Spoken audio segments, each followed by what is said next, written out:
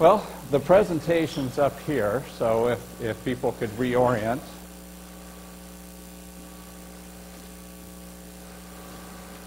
So my name is Dana Bryson.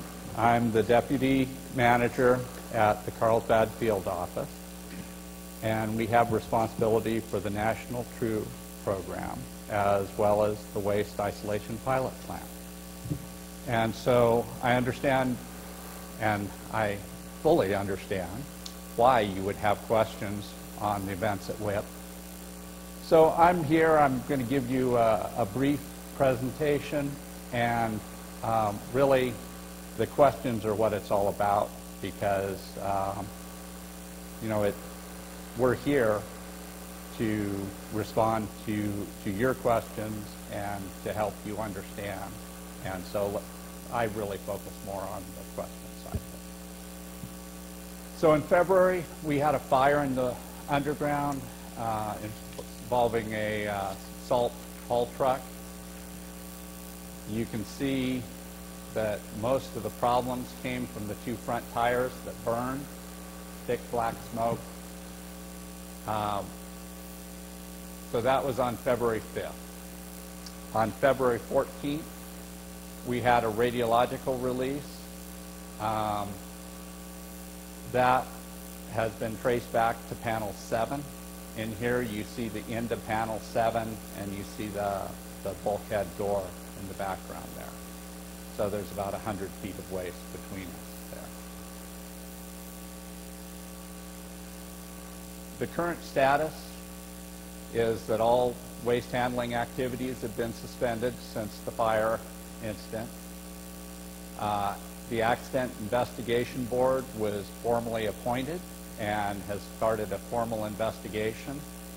They've returned a report on the fire in March and they've returned a report on the radiological release phase one in April. So because we haven't fully identified the exact source, phase one focused on the responses to the radiological release. Phase two is dealing with it more holistically uh, from the source and why it happened. Uh, and that's phase two as the investigation uh, continues. So the Accident Investigation Board brought experts from across the country in the DOE complex, and they are fully uh, independent of the Carlsbad field office or any of the generator sites. Uh, in addition, we have an independent arm uh, uh, the enforcement in DOE that is involved in reviewing what's going on. And of course, we have our regulators for WIPP, which is New Mexico um, uh, Environment Department and uh, the EPA. So the investigation into the cause of the radiological event has kind of focused on panel 7 and here, this is the very end of, of room 7 and panel 7. And this picture right here is being taken from that corner. So you kind of get a perspective. There's that steel bulkhead that I was telling you about that you could see at the end. And that's about 100 feet of waste there. We've kind of narrowed it down to an event zone. Um, the reason we can do that is because we um, see evidence of, of high heat in, in those areas. Melted plastic, uh, charred uh, material, that sort of thing. So the, the potential mechanisms for causing that and dispersing the uh, radiological contamination, um, we started with a very broad range of possibilities. Uh, one of them was a change in the type of the absorbent used in the waste stream. Um, we're, we're actually leaning more and more in that direction, but we still haven't ruled out other causes. And um, as of yet, we haven't reached any conclusions. We keep, we keep gathering additional data every entry, and we're making about two entries a week. Um, Investigation-wise, they're evaluating the source of the contamination. Uh, This is through the entries into the underground, uh, which always has at least one uh, accident investigation board member with it, as well as work on the generator streams. We've got uh, reviews of the processes going in two uh, generator sites right now, and we're doing a lot of sample analysis and evaluation of, of uh, waste streams. And near and dear to all of our hearts, the 3706 project. Um, we really tried to salvage this by uh, sending waste to WCS uh, and, and then with the plan of then sending it to WIPP. Um, that's kind of been put on hold.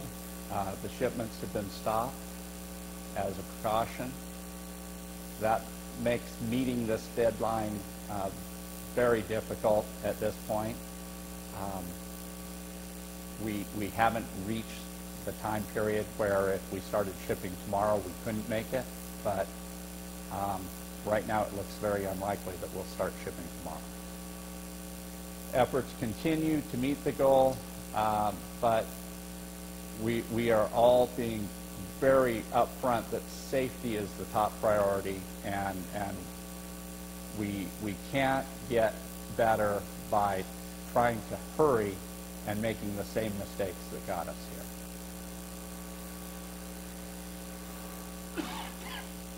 The WIPP recovery is taking place. We have an integrated project recovery team chartered and in place. Uh, they're uh, developing a recovery plan, which the contractor is on track to get to DOE at the end of the month. I'm, I'm sure you all saw the uh, administrative order that WIPP got uh, yesterday that asked for uh, a plan and a schedule on uh, closing uh, panel 7, room 7, uh, and panel 6. That is part of that recovery plan. And so um, with that plan being due at the end of the month and with the administrative order response due on the same day, that creates some logistical challenges. Uh, we're going to work through that, see if we can pull that ahead of the rest of the plan. And of course, we will uh, be in constant touch with NMED. Federal and contractor staff are both being augmented uh, at the facility. Uh, we've gotten a lot of corporate reach back into the contractor. In fact, uh, one of the next phases of work scope, which is replacing the uh, HEPA filters uh, that were contaminated when they engaged as they were supposed to when contamination was um, uh, detected in the underground and they protected the environment. But now we have to start planning for, for replacing them. And the staff at WIPP, um, because it has been so successful, have never really had to deal with high contamination levels. And so um, we really wanted to get people that were used to and practiced in this, and especially for HEPA filter replacement. Um, it can be a tricky operation, and so we've got uh, people from Savannah River lined up to do that. On the federal side, um, I have really been humbled by the, the support we've gotten from the other DOE sites. We've had facility reps come and support us. We've had um, people from, from all aspects of, of nuclear safety to uh, industrial uh, health and hygiene to all of those elements that we needed to properly oversee uh, the operations and, and keep in mind that when these accidents started happening, we had to make the decision, look at it and say, okay, all of our safety management programs are suspect. Uh, Our work control is suspect. We need to assure that everything we do from here on out is done correctly. And so we went into essentially 100% oversight mode, which has been long hours for everybody. But um, it's, it's proven good in that we've been uh, catching issues and allowing us to upgrade as we go along, as well as assuring that we're doing work correctly. And then from the uh, Accident and Investigation Board reports, uh, they identify justifications of needs in there. Um, they're essentially findings. And so, in response to those two reports that have been issued, uh, we are developing corrective action plans. Each report has uh, JONs uh, justifications of needs that affect the contractor, affect the DOE field office, CBFO, and affect headquarters. And so we will have corrective action plans for all of those entities for each report. And really, that's going to be necessary before we can resume full operation. We've been looking at the ventilation system and upgrading it because really this facility was never designed to operate under filtration. And because of the contamination in the underground, we are really required to operate under filtration to do so safely. So um, we have um, a, a facility half a mile underground that was designed to be operated uh, with maybe five times more airflow than what we're currently able to get. So right now, under normal operations, the air would go out these ducts. This goes to a shaft that goes down to the mine. And so under normal operations, this airflow would go out these ducts through these um, 700 series fans and out into the environment because it's clean. You're just recycling it through. Um, now, when the contamination was detected in the underground, these automatically shut off and air was automatically diverted into these HEPA filter banks and this goes through one 700 or 860 series fan and the HEPA banks, two, two banks, they're, they're pretty big, but still we can only max out at uh, 60,000 cubic feet per minute. And in order to operate diesels, to um, move salt, to mine salt, to do roof bolting, ground control, all of that, we need more airflow. So now what we're doing is um, just signed off on a, uh, starting a procurement that's going to double our HEPA filtration capacity. And we're looking at more electric operations in the underground. And we're looking at scrubbers for our diesel exhaust.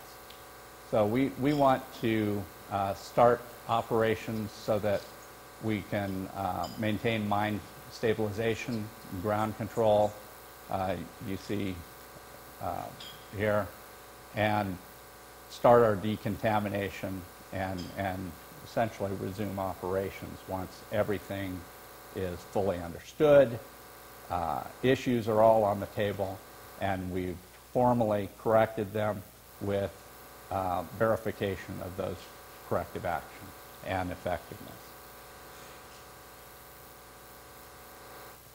So in the long term, um, we still have to pinpoint the cause of release. Um, we have to do uh, a culture change in the facility both on, on the contractor and the DOE side. Uh, we, we have our corrective action plans that we're finalizing and that we will have to follow through and, and complete and validate and verify the effectiveness of, and then, and only then, can we return to full operations. Um,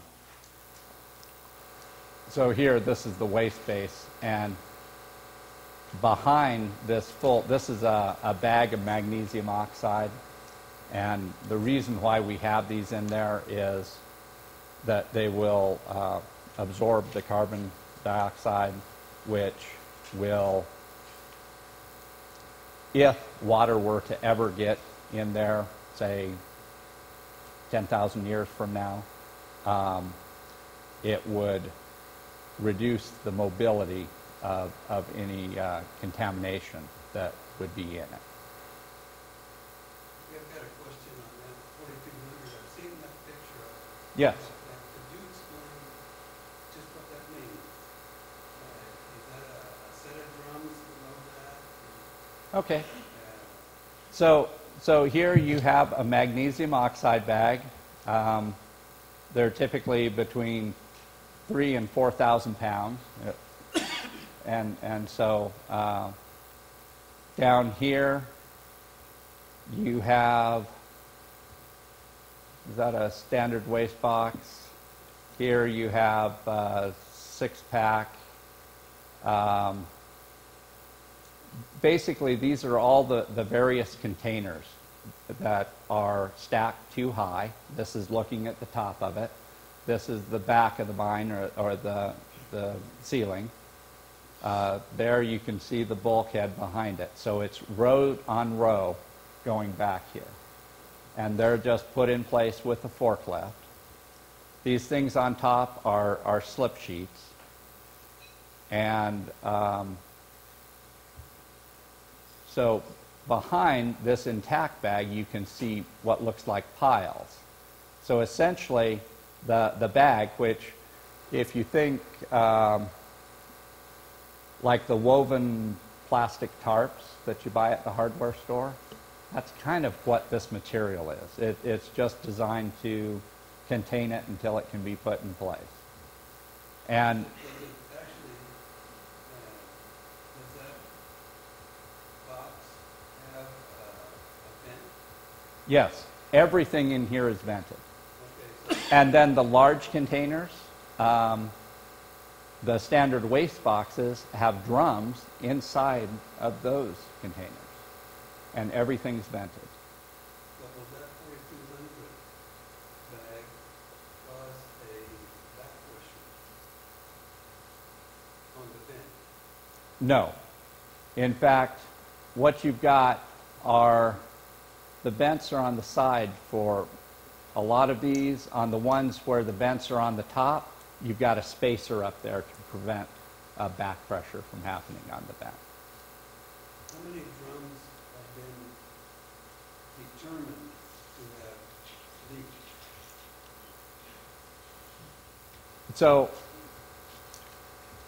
let, let's go into that then.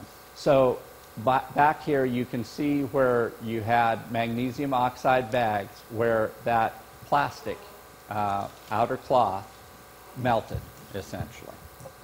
Uh, a lot of the, the slip plates and the plastic wraps around, like the, the seven pack, seven pack of drums, have just a plastic wrap around them.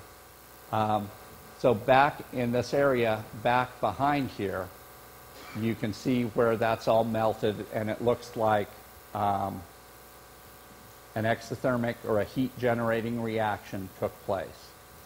And one drum in particular, um, we can see where that um, reaction seems to have been particularly centered, and the lid is popped, pushed off. In fact, there was a, a bag on top of it, and it pushed up on that bag and popped itself open. And so, for something inside of that to have done that, it would have had to have generated enough pressure to overcome the vent, which is designed for a, a slow gas buildup, and, and force that up. You know, there's been a lot of uh, decisions made on the fact that that was the kitty litter that had carbon. Uh, Is, how extensive are those decisions and how, how clear is it that that is in fact a possibility? It's standard uh, for chemists and, and across the complex in, in work that's done in, in uh, uh, canyon facilities and, and anything to, to really um, know that you do not mix organics and nitric acid. You, you tend to get bad results. And if an organic material like kitty litter were mixed with um, highly acidic nitric acid, I, I would give you the same answer.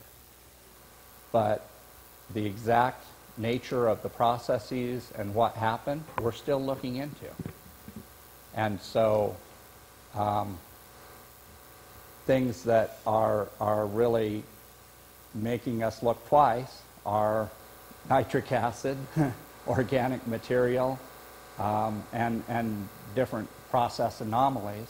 And like I said, we're evaluating two different sites, generator sites, um, in those areas.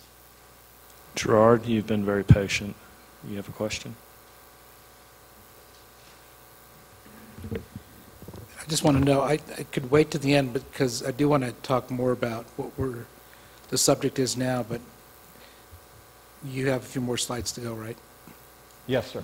I'd like to wait till he's finished and then ask those questions. Thank you. Okay. Bob, the floor's still yours. I, I was wrong. I've still got several questions.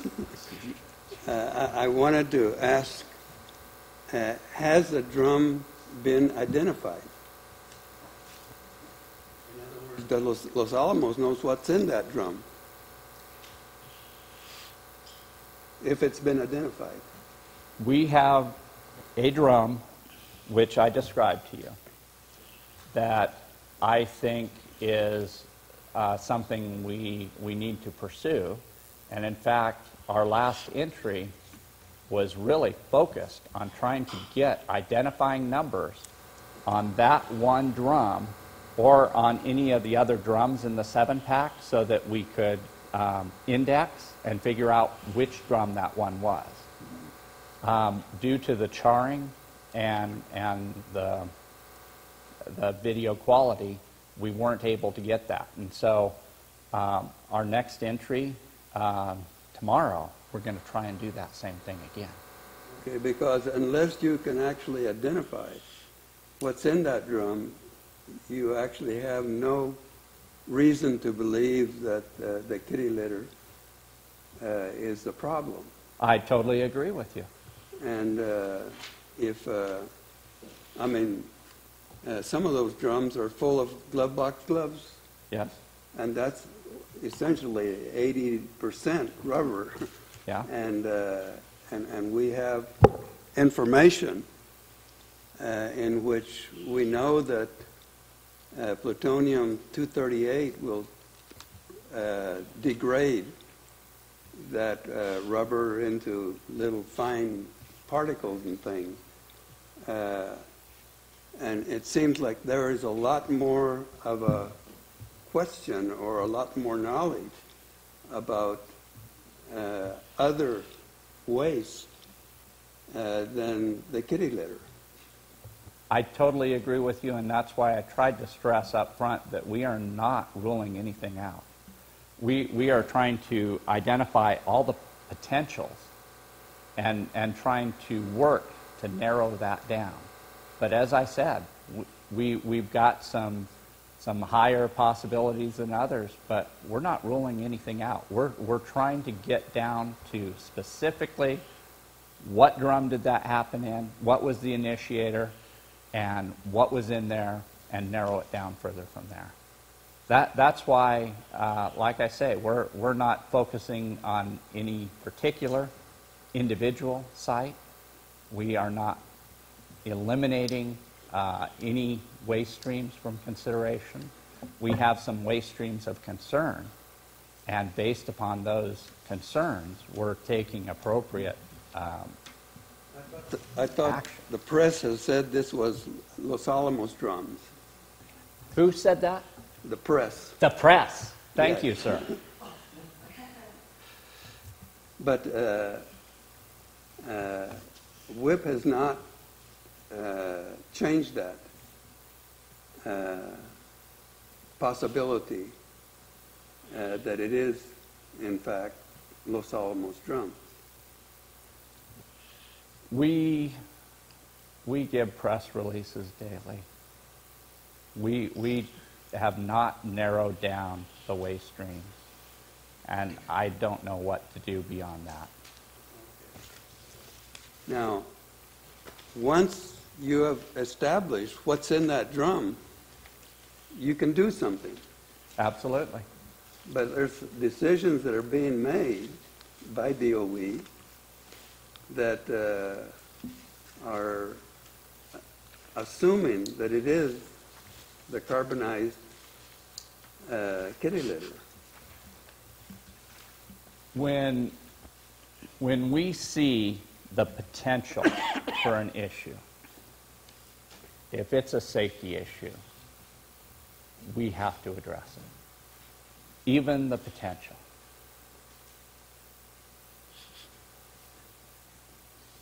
I agree with you, it would be um, preferable if we had all the data and could zero in on something that was proven.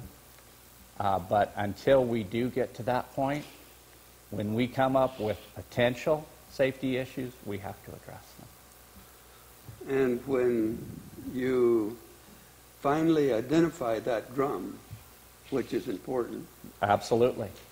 uh, then you'll be able to make some uh, scientific uh, assessments on what that might have been. Now, in the original contamination or uh, that was released, uh, I've always seen that there was plutonium-239 or plutonium anyway, americium-241. How about uh, plutonium-238? Has that been seen? There, there was one instance where we got a, a lab result to that. This is very critical because there's very intensive knowledge on what happens when plutonium-238 is involved in, in a drum, is in a drum. Los Alamos has this information. And, uh, and, and this would be of great help if we could ever establish whether there was any plutonium-238 in there. And I can assure you that we are on daily meetings with the scientists in Los Alamos and Savannah River. And they are asking questions like you are asking, and they are asking for the additional information they would like to see. And we are examining our capabilities to get that remotely and planning our next entries to try and do those things. Yeah. I have, I have next Gerard, and in this order, Nana, Stephen, and then Danny. Gerard? Thank you, Mr. Chair.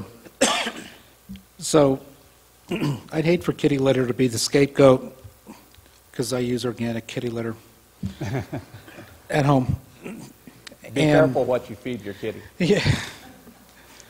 So I appreciate the information and the presentation. And um, I thank Bob for kind of bringing to light some of these other um, materials and mixtures and relations that some of us really don't know. Um, But you you did say safety is a top priority, and I want to go a little bit off of that. And then I have one last thing towards the end that was a concern of mine. And I'm glad there, a lot of more controls are being evaluated and looked at, and looks like things are, um, there's a couple of different tracks that are in place right now, and evaluations taking place, and then some actions taking place. And what can we do in the future to make things better. But in the meantime, we still have an issue. Yeah. You know, and you did talk about that you're still trying to identify the drum. To me, that's a concern right there, because there should be inventory control. I, I think that the website should know exactly where things are at, because we don't want to go back into this um, legacy waste type of issues ever again. And we are moving waste legacy, the TRU waste, over to WIPP, and in particular, we have, you know, pits that we don't know where things, what things are in there. And, and, excuse me, let, Sure. let me address that since, since you raised that specifically. We do know where everything is at. The issue is we have a particular seven pack of drums that's mm-hmm. of interest. And normally you, you've got the, the numbers on the drums and you can identify, we know what sequence they're in, but we don't know how it was placed in there at the time. Okay, and so that, again, is something I hope that will be able to be put in place in the future, that you'll know exactly where, you know, That's a lessons learned. and, and it's a tough lesson to be learned, because the concern there then is, you know, regardless if it's kitty litter or some other compound, or if it's an organic compound that is mixed in with other drums, or within that sequencing, are we waiting for more lids to blow? And I know that we were told before that it's, and I appreciate, you know, Mr. Bishop telling us it's a low-level type of radiation exposure that we're used to in the home as it is if we have any type of Yeah. detection device.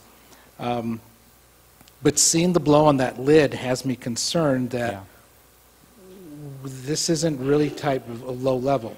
So I think Bob is asking some really good questions because those are things that we really, really need to know. And then you're going to have to go back into that inventory, of course, and then find out, gosh, what else is in there? What has caused this and what other materials are in these drums that have caused this? And if it's unknown, then we have another set of problems on our hand. Then we start to lose the public trust as to why we've done this to begin with. Um, I would really like to, for either this board to either formally, however we can do it, to make sure that uh, a full investigation be done on this. And I know that there are controls, and this is all due respect to what is the types of things that are being evaluated and now being put into place. But a full investigation is really needed as to what is causing this, what has caused this, what will be prevented in the future. But again, this is really critical. I know it's a small thing, and what was a small thing to begin with is now be turned into a little bit bigger than what we expected. I know we don't have all sorts of high-level radiation being sent into the atmosphere. That part is good. But this type of issue is beginning to rub me a little bit more into the acceptable, okay, things are under control, because it seems like it's getting bigger. Uh, I try not to be too redu- redundant on that. Um, So along with that, I still see that there's got to be some relation with the fire and the leak somehow, some way. It's just, it, it's, it's bugging me, and it's just the logic in me until I'm proven wrong. And that's what's great about science, the way I understand it, it's, prove, it's until you prove it wrong. So I want to find out still if there's, there's got to be re- a relation there. And I know you all are looking into that, but please, uh, whatever you can report to us. The last thing I'll bring up is, um, when WIPP was ready to send down a team um, to go ahead, a, a- a human team, to go down, that was delayed because the monitoring, the lapel monitors, um, the PPE was not in place. My concern there was from a safety point, again, because safety is a top priority. The concern I have is WIPP fully equipped with the right type of PPE, right type of equipment, any type of equipment for low level or even large. So this was a low level um, situation, but the, the proper PPE wasn't in place. Now, if the PPE, if the lapels, and I know I'm kind of being a little, breaking this down into minutia, but if the, because there's a larger view of this. If the lapel PPE was not there, or if it lost the freshness state, if it had expired, then why isn't that being replaced? Why isn't that type of inventory control being done? So there are some management questions I have based on these little things that are now turning into big things. And um, so those are the concerns I have, and I'll repeat again that whatever type of full investigation that- that we can recommend or bring forward, because it is our TRU waste that's going to WIPP. And there's, you know, I answer to a lot of people, well, not a lot, but there are people that have a lot of questions. And they're asking me because they know I sit on this board. And I've been able to answer, and I I forwarded, like, some of the answers that uh, Mr. Bishop gave me uh, the past uh, four months. I was able even to, into my class, and into my, with my students. But now this is becoming more of a bigger thing. It's been, a- and on CNN, it was, it was a bit of a mockery over this kitty litter issue, and I know it's irritating you all, and it's not so funny. But to me, again, this is reflective, and is this endemic? And I hope not. Thank you. Thank you, Gerard. I- If I could, just in Sure. response to Okay. that. Please, thank you. Um, y- You know how I said earlier that after the first incident, we had to reevaluate our safety management programs? We had to try and build them back up, and, and we put extensive oversight in them? Um, Radiological controls, bioassay, I- all of that was part of it. And, and so I, I agree with you. I mean, we, we need to have those controls at a higher bar. And that's what we're pushing to do. And that was one of the reasons why we didn't immediately go storming down in there and, and take immediate action. We took maybe six weeks to uh, get our ventilation system where we needed it because um, um, we weren't happy with its performance. I mean, it did what it was supposed to do, but still, it could do better, and we wanted to get that sealed up and, and corrected. And the If if I could, uh, safety management. that program. there is my concern. The six weeks, I have no problems with that. But when that six-week period was ready to send a team down, everything, you had the green light, you know, monitor, the lapel monitoring was not available. They weren't ready to go down because of that. So that brings, you know, the back of my head starts to bring forward, Yeah. wow, they, they, they took a look at everything, but didn't they forget the little things like? PPE? A- Actually, they, they had the lapel monitoring available, but people made a, a decision and said, okay, in refreshing our PPE and bringing it up to standards, we ordered all this stuff. We have new version of lapel monitoring uh, equipment coming in tomorrow. We have this old stuff, which we're not convinced is as good as this, and they made a decision. And, and I support that decision. Thank you. Dr. Girardi? Hi, I have a lot of questions, um, so I will ask a few and then give other people a turn and maybe come back to me later. Not quite sure where to start and what to leave out, but you said that it's due to the press that um, we may have some inaccurate information or be concentrating on reactions between kitty litter and I never said that, ma'am. I never said that. Well, you, you implied when speaking to, um, to Bob's question, who said that? The press. Thank you for saying the press. The press said that, we did not say that, is what you said.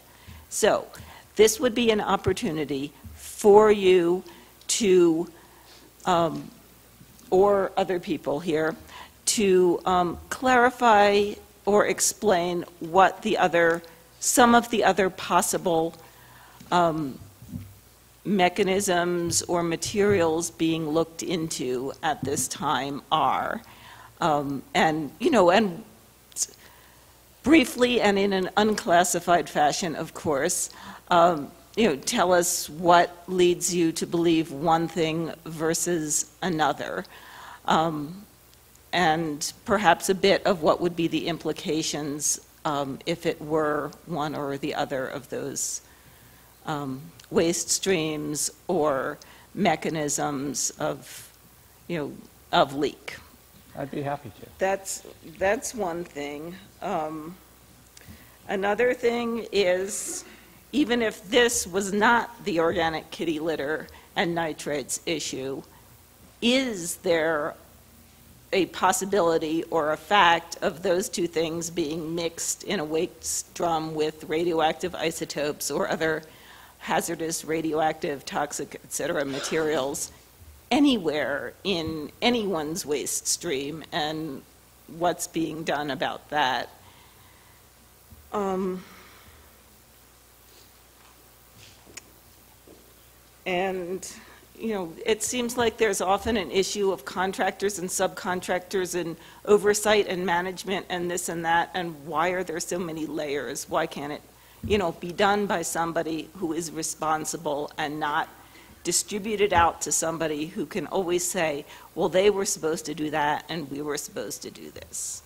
And another thing is, you know, we went on tours of WIPP, and they showed us that everything was safe, and everything was great, and everything was clean, and everything was so well run, and everybody was being careful about everything. How did it happen, you know, that routine maintenance wasn't done on the truck to clean off the oil that probably led to the fire, or is that just a press, you know, a press interpretation and what, you know, and what really happened there?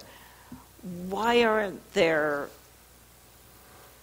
drills done so that it would be familiar to people um,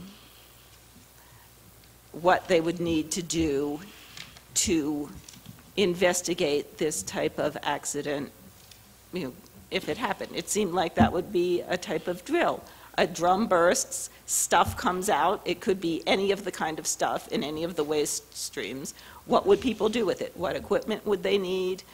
Um, You say, well, this place wasn't designed to be run with filtration. Well, if it's storing, you know, radioactive waste, then there, and other hazardous materials, there might be times when it would need to run on filtration. And how's that going to work and for how long? And, you know, what do you need under those circumstances?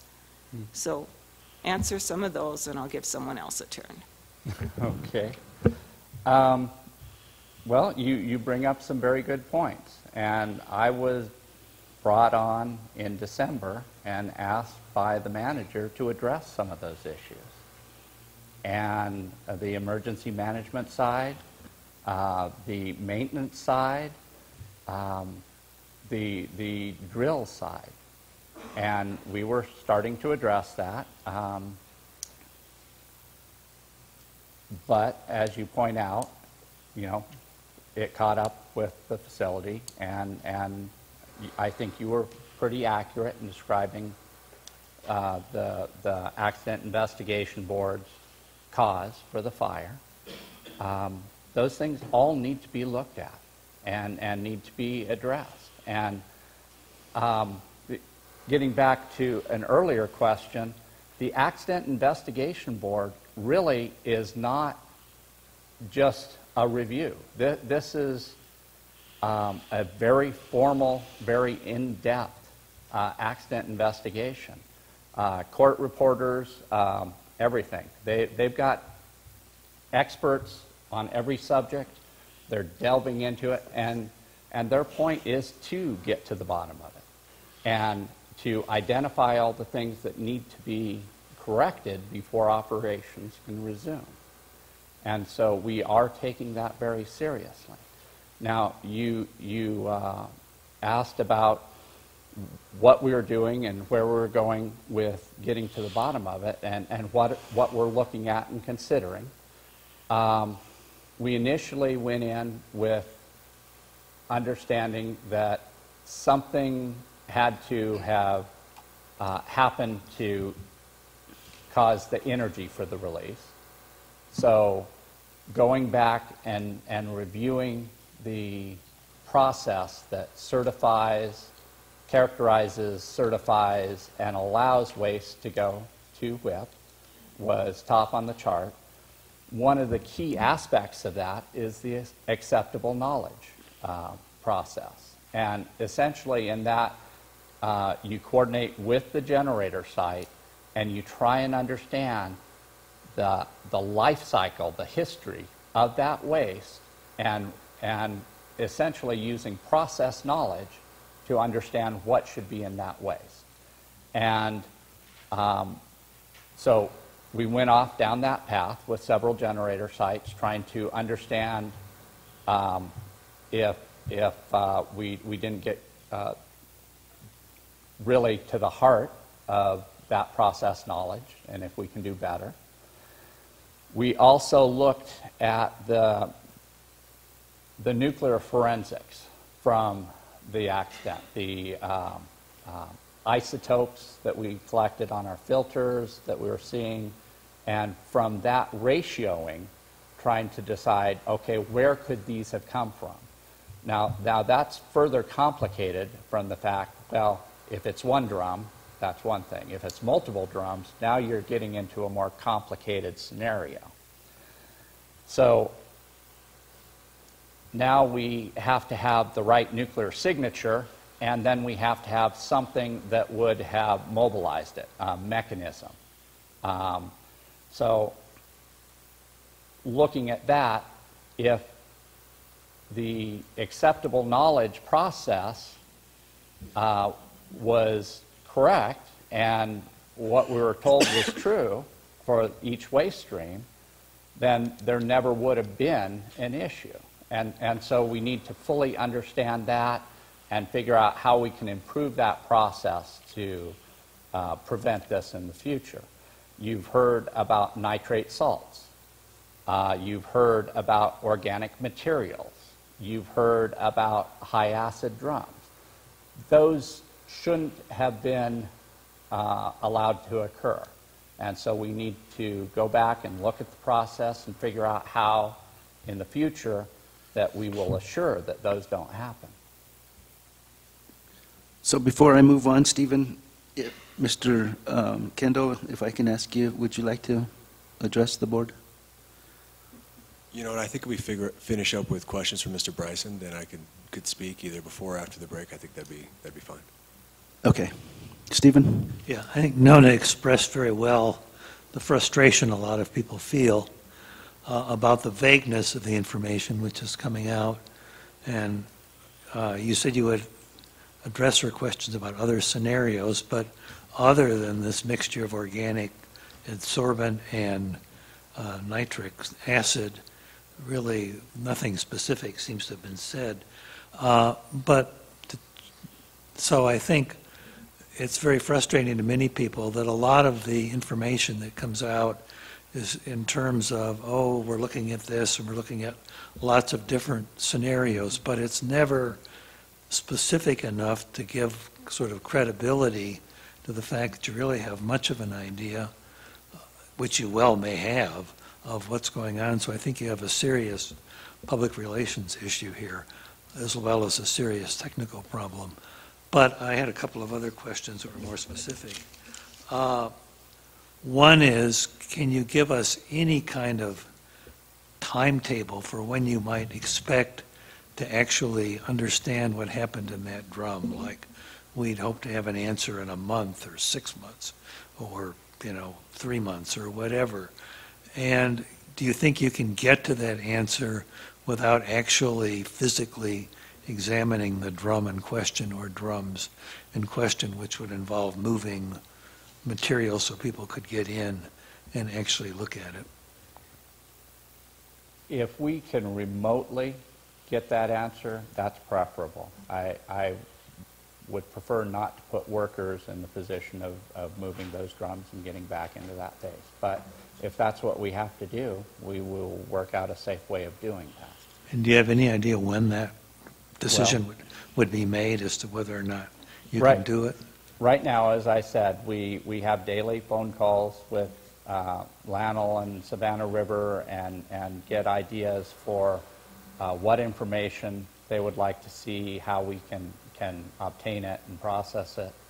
And so we've got two, tentatively, we've got two entries planned into next week um, where we will try and get additional information, samples, uh, pictures, and ideally, if we can identify any one of those drums in that seven pack, that would help us narrow it down.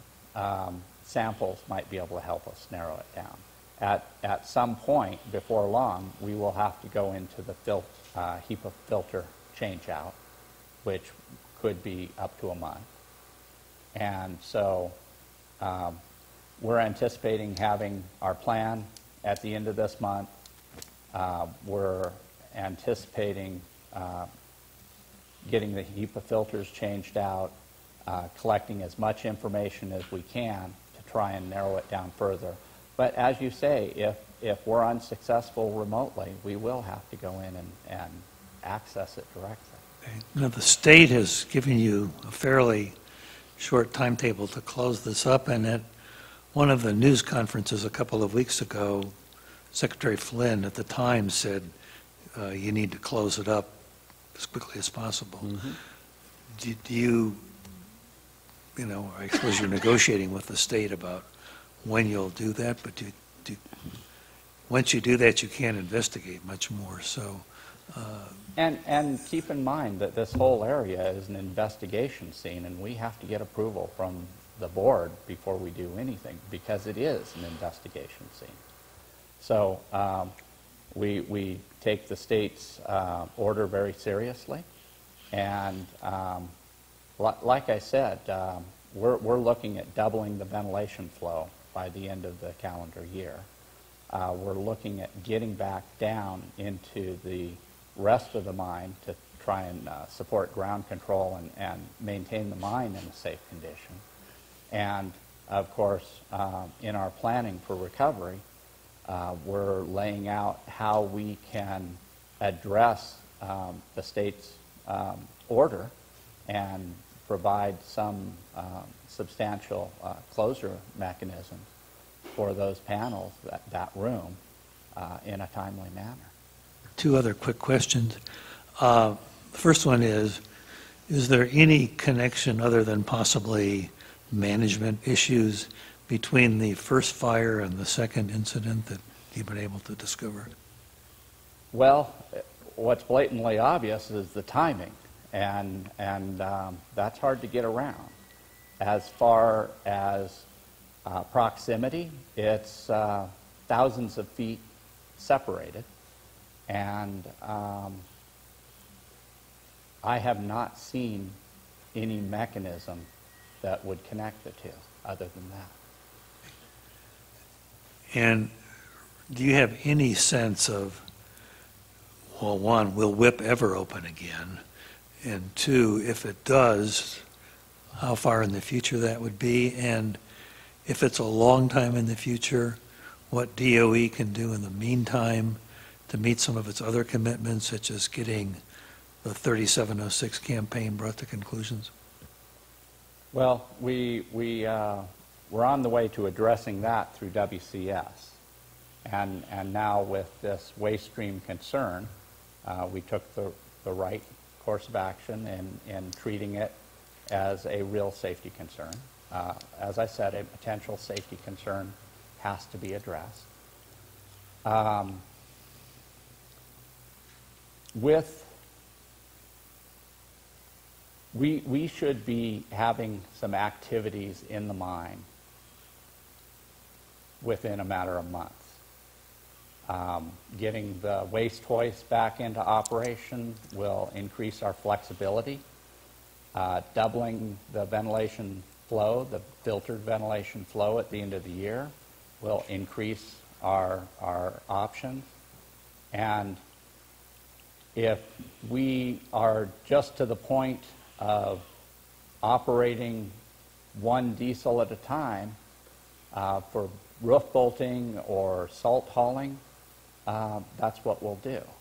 But we, we need to lay out the plan and lay it out so it's safe.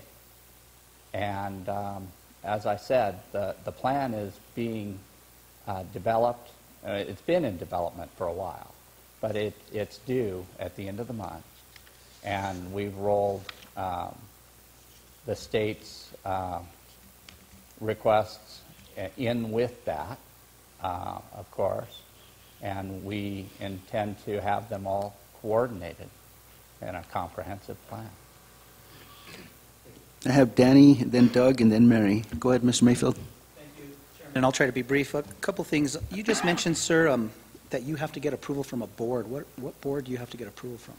Well, I, I was just um, trying to stress that the Accident Investigation Board is a, a formal uh, investigation of an accident. The, when they first showed up, uh, the entire site was an accident scene, and we've slowly narrowed that down. And so when we go back in and do anything around the waste face and the source of, of the, the, the material, the radiological release, we have to coordinate that with, with the Accident Investigation Board.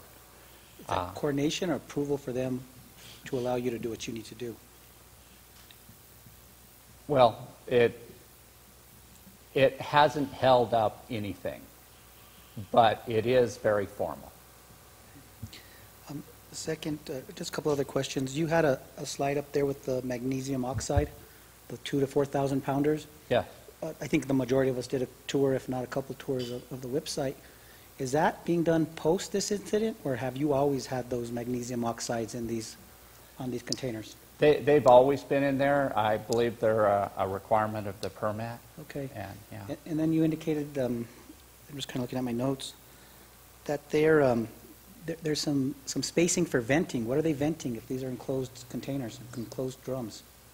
The, the drums are all vented um, because you'll, you'll have um, radiolysis and other means of generating gas, uh, slow generation. Okay.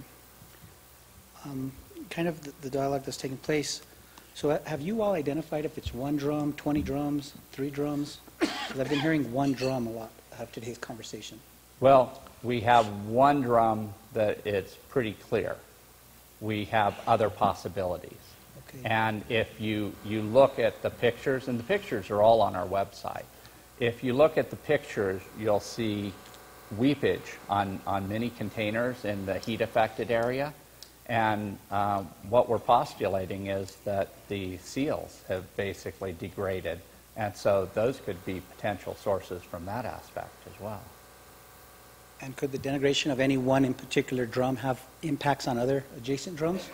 Absolutely. Okay. Um, So so I'm going to ask this because, again, I I kind of go by what's reported in the media too, and I'm probably the biggest one who doesn't take uh, uh, verbatim what the media says. you know. But but with what has been reported in the media, sir, um, and if it is determined to be, um, you know, unfortunately, one of our drums from our 3706 campaign, do we need to go back and look at every single package of 3706 campaign material that we are touting as a great success? And I think it is. And, um, but it does cause me some concern if it was coming from Los Alamos. I think it's healthy to go back and look at all of our processes and, and reevaluate. Um, you know, i if you look at it, nobody was hurt in either of these accidents. And I think we're blessed from that. And I think we would be missing a great opportunity if we did not seriously look and identify everywhere where we need to improve and take those lessons learned and correct them. And that's, that's the path we're on. So I guess in conclusion, this will be my last question. Um, Based on, on the order that, or the recommendations come out from Secretary Flynn from the Environment Department, if you're asked to go and close that up, are we not, or- you potentially will not do any remediation of the drums that are leaking? Are they just going to put, close them up in place and it's kind of, that's going to be it? We're just going to see if this salt mine works based on leaking material down there? Keep, keep in mind the design of WIPP. The, the containers are not, are not the primary containment. Right. The mine and the salt sealing behind it is really what is designed, what is planned to um, maintain this material uh, separate from the environment for thousands and thousands of years. And it's been proven that when this is allowed to seal up, that, that that is better than any man-made uh, artifice. So I guess in conclusion of that, wherever we go forward today, and and knowing today's technology and tomorrow's technology, are you planning on putting at least cameras in these, in these future sealed areas so that, until that camera lasts? Maybe that camera lasts 20 years, maybe it lasts 100 years. So we can monitor what's happening once one of these cells is closed? Those are all good questions. Do we have any right now in any closed cells, any cameras to monitor what's going on in those cells? We do not have any cameras in the underground. That is- And that'd when be a I first got there, that was one of the questions I asked. And when we had the first accident and I was in the control room, that was the first thing that I wished we had. Well, I'm talking closed, future closed cells, once the cell's closed up. Just keep a camera in there until it works no more. Yeah. Thank you. sir. Thanks, Denny. Doug? Mr. Bryson, a couple of questions, uh, some of them have been answered. Um, Concern about the ventilation system. Uh, You indicate that those upgrades are going to be made this year and will be in place. Is is that an accurate uh, evaluation that that can be done? We're, we're doing the engineering on it and the procurement, and we expect to have it installed at the end of the calendar year. All right. That's our current schedule. Very good. The other question is, have you been able to evaluate the entire panel seven to say that, that this, this is the only area that's shown a, a potential problem? Or is there other areas that maybe you've surveyed and, and identified that there's possibly a problem in panel seven? Well, um, if we just seal off room seven of panel seven, we would still have some, some uh, decon activities required in panel six and, and potentially other places. Um, But the only place where we have waste in panel seven right now is in the very end of panel seven. But have you been able to survey and say, you know, the rest of, uh, the rest of panel seven is not a problem, other than this particular area? I guess that's what I'm trying to look at it. Well- Are we only looking at one area, or are we looking at, there's other things that you, you haven't been able to survey the entire panel to say, there's other problem, possible problems? Room six, as I said, and then um, the exhaust drift has got to be contaminated. We haven't sent people in there yet, but I'm just planning on it being contaminated, so we'll have to deal with that as well. Thank you, Doug. We're going to go to Mary, and then we're going to move on. Um, Bob, Nana, Gerard, I know you still have questions. If you can hold those uh, for a second, and um, um, we'll get back to your, your questions as soon as we can, but go ahead, Mary. Thank you, and thank you for the answers and explaining things. I was questioning about when you said that um, it was the certain, you knew what was in the containers, and then they were placed together. It was just a problem because you didn't know actually how they were placed, that they, you know. Um, Knowing, when we did go down there, the rooms were sealed, and I think that was one of my biggest surprises when I heard about it, was they said that the rooms are sealed immediately when they're filled, or, but I thought that, um, my concern is, I guess, that then in the other rooms, if there are containers possibly with the same things in there, and we don't know how they're adjusted, will that ever have a problem, or it won't now that they're sealed? Once the, the panels are sealed and there's no ventilation flow going through them, there's no communication with the, the rest of the environment, the, the salt will just slowly flow in on it and ultimately crush those drums and seal everything off. Um, But there will be uh, hundreds of feet of, of solid salt between them and the rest of the mine. Right, and I think they were just explaining to us, though, the time that it takes for that to happen. So I was just concerned, could this possibly happen? And then is that front door that we saw, I guess, will that be enough protection then to not have this release at all from any other panel? The, the door, the steel bulkhead as you're talking about, that, that is uh, being used in addition to other methods. Uh, Three of the panels have uh, blocks, block walls sealing. Uh, All of the panels have um, a cloth and, and run of mine salt. Um, And, and so that needs to be finished up on panel six to make sure that, that there's not any direct access between them. And um, we're, we're looking at, at all possibilities uh, in responding to the state, and uh, it will probably be a combination of things. Okay.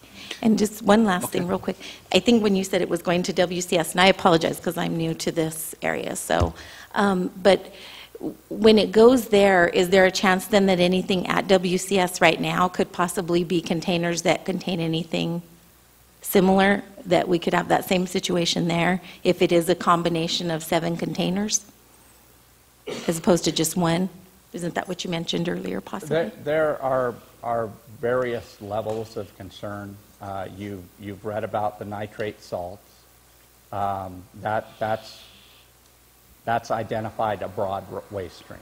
And, and so uh, LANL, uh, WIPP, uh, NMED are all addressing that waste stream. But within that waste stream, there, it, it's not a uniform risk. And, and like I said, the, the scientists at LANL have been doing research. Uh, they have been um, trying to identify where the potential high risks are and uh, where we might have outliers that could have initiated this. Um, that's one possibility. But again, where you have the potential, we, we have to treat that as if it might happen. And so that's why we're addressing the entire waste stream, even though um, the majority of it probably is not an issue or even potentially an issue.